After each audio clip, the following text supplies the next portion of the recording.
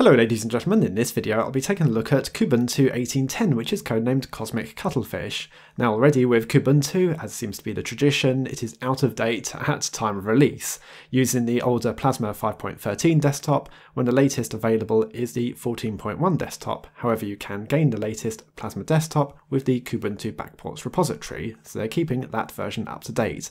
So great, we do have alternatives. But as far as the 5.13 desktop goes, I found that a very stable desktop environment to use when I was using it in KDE Neon. Now one of the changes for this release of Kubuntu is the dropping of 32-bit. So if you have a 32-bit system, no, don't use this version of Kubuntu. You're going to have to stay with the older long-term support release of 1804. This seems to be the future now of Ubuntu that they're phasing out the 32-bit architecture. Under the hood we have Linux kernel 4.18 which offers improvements to USB 3.2 and USB Type-C, as well as support for the latest Intel CPUs. We also have Mesa 18.2.2 and the option to install the NVIDIA 390 graphics drivers. Memory usage at system boot up is about 420 meg. And this has been a feature of the Plasma 5.13 desktop, and that there has been improved memory usage and a bit of speed at the system boot up. We also have Qt 5.11.1 and the KDE applications version 18.04. Kubuntu offers a stock desktop environment for KDE, as well as a few different applications that are pre-installed on the system. There's two different options for the installer, there's the minimal or the full version. If I switch to the alternatives and just go to the application menu, it gives me an easier view to show you what would have changed. There are quite a few items dropped on the minimal version. For example, I think Office is pretty much empty. Internet, you still get a web browser, but most of these other applications won't be pre-installed. So there's quite a few applications pre-installed on the system, and they have some small games pre-installed this time around. I want to take a look at LibreOffice Writer, because it comes with a new hybrid KDE5 slash GTK3 integration. What does that mean exactly though? Well, taking a first glance at it, it doesn't really look a huge amount different to me. The, the theming still seems to be fairly similar, but perhaps if I was to deviate from the default Breeze theme, then maybe I might see more of an improvement.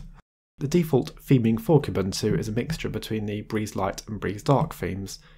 For example, we have the lighter menus in the applications, but with a few darker colour items like the panel at the bottom of the screen. I'll show you one of the new features on Plasma 5.13 desktop. On the lock screen it drifts in and out between a blurred and a non-blurred effect. It kind of acts like a screensaver. I could also type my password in using the virtual keyboard. The default session is Xorg, but you can manually install the Wayland session. For testing purposes only, and they don't recommend it for a production system. There's also a new external monitor dialog box, and I found this very simple to use on a full system install. The primary and secondary monitor are by default the wrong way around. It was really easy to switch them around to the physical layout on my desk.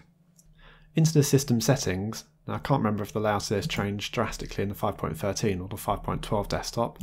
So if it does look completely different to 1804, then yes, it was changed, but otherwise, mm, my memory is not quite what it used to be. It's all fairly standard with the tweaks that you can make, but you don't really have to change anything. You can pick up the desktop and use it. You don't have to play around with things, but if you want to, then yes, there is quite a lot you can modify. And you can go much further and modify the entire desktop, add global menus. You can do a lot, and a lot of these items you can change are pre-installed in the desktop. You don't have to go and install widgets from a third party and rely on them to be upgraded between versions of the desktop. Everything that's here has worked between different versions of the Plasma 5 desktop. Taking a look at the applications and bearing in mind this is the standard system install, not the minimum, yeah, it's uh, interesting to see some of these small games that they've included. There's nothing too bulky there, and again, same under graphics, nothing too bulky really. Gwenview tends to come pre-installed on most KDE distributions. Internet, they've gone for Firefox the web browser, Kmail for the email client, and KTorrent for the torrent client. Multimedia, well it's VLC for the media player, and Cantata for the music player. Office is the full suite of LibreOffice, there might have been some changes on the KRunner menu, but again, my memory has faded on that one. Taking a look at the memory usage, well, it's only crept up to about 540. That's still a lot lower than Ubuntu was.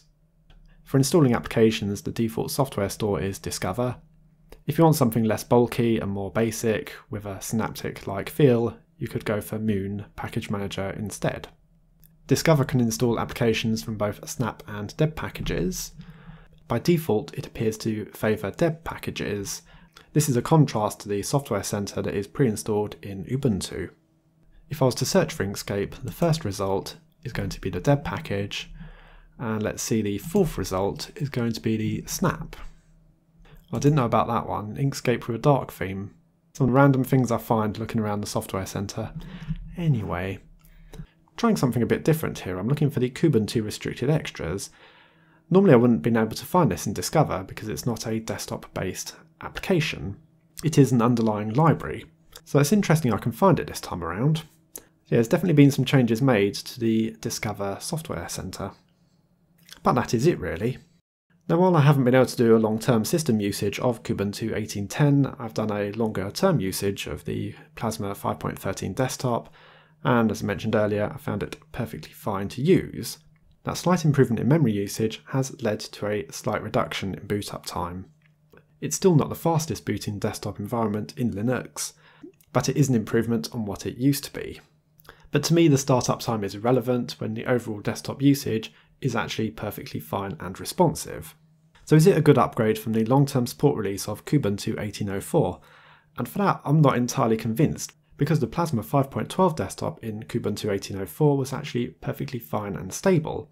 So you're not really going to gain much there.